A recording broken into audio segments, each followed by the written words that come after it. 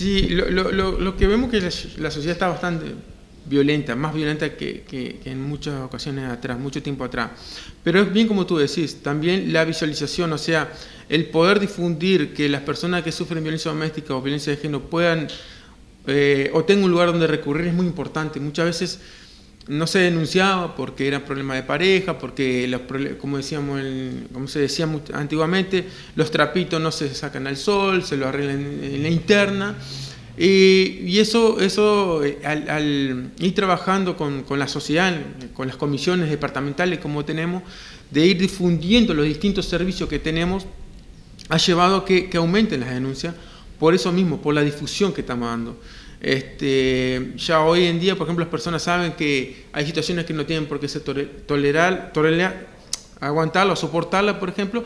y, van y denuncian. Este, pero no solamente basta con la denuncia, porque evidentemente el Estado debe intervenir para que esas víctimas de violencia doméstica tengan contención posterior a la denuncia, porque muchas veces pasa eso que la víctima hace la denuncia, pero no tiene a quién recurrir o no tiene a dónde ir entonces, porque hay una cierta dependencia del, agresor o de la agresora. Entonces también tenemos que trabajar en pos de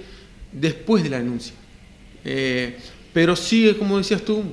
eh, gracias a la difusión que, se le ha dado de los distintos servicios que contamos en el departamento, en el país, que es, es, muy importante lo que usted hace en la prensa, difundir esto es muy importante para que las personas puedan y sepan a dónde dirigirse al momento de si están sufriendo una situación de violencia doméstica o de género. Le consulto la ludopatía, el alcohol, las drogas, ¿qué tanto influyen en situaciones de violencia? Es, es, muy importante tu pregunta y te diría que em, la mayoría de las veces cuando tenemos episodios de violencia que, que derivan en la unidad de violencia doméstica, una de las partes está alcoholizada, la mayoría de las veces, este, y eso, eso lo he visto eh, que se ha aumentado después de la pandemia. Durante la pandemia, al estar los bailes cerrados, los locales eh, comerciales hasta determinada hora, bajó porque no había tanto, tanto el, consumo de alcohol y de la droga. Hoy en día, como está todo abierto, ha aumentado impresionantemente y, y ha aumentado la cantidad de personas que tenemos que son violentas estando alcoholizadas. Por eso en estas fechas cerca de la fiesta de, fin de año fue cuando, es cuando más tenemos hechos graves, porque se juntan las familias, se reúnen, eh, ya empiezan a, tomar, consumir alcohol o droga, y ya ahí empiezan los problemas, a, recriminarse cosas, y ahí este, estalla, a veces por, como decías tú, por una moto, una, una cosa tan insignificante, revienta una bomba que no, es tan, no era tan así pero las personas este, explotan, sabemos que el ser humano es bastante impredecible y, a veces cuando explota, explota para, para mal. Entonces el alcohol es una problemática, igual que la droga, muy,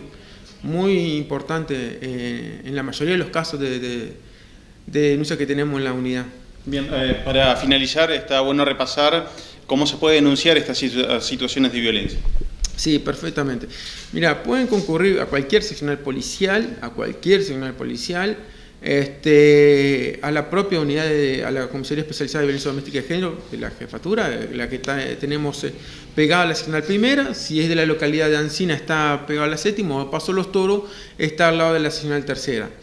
También me puede ser a través del 911, también a través del 911 pueden este, llamar y denunciar estas situaciones. Eh, que inmediatamente va a ir un móvil hasta, hasta el lugar donde la, persona esté solicitando eh, y, va a ser asistida. También hay personas, el vecino, la vecina que quiera o que sepa que hay una situación de violencia y no quiera comprometerse, porque a nosotros nos interesa muchas veces es saber la situación y no quién lo denuncia, puede hacerlo perfectamente en forma anónima al 0800 5000, otra línea eh, que tiene el ministerio, o si no a través de los eh, teléfono, por ejemplo, el de la, de la unidad eh, de violencia que tenemos que con vos, eh, 4632-2527, perfectamente llama por teléfono, informa que hay una situación o, está viendo algo, que hay una persona que está sufriendo víctima, está siendo víctima de violencia doméstica y nosotros vamos a intervenir. Porque nosotros, como te dije, nos interesa el hecho, no quien lo denuncia, para poder empezar a trabajar.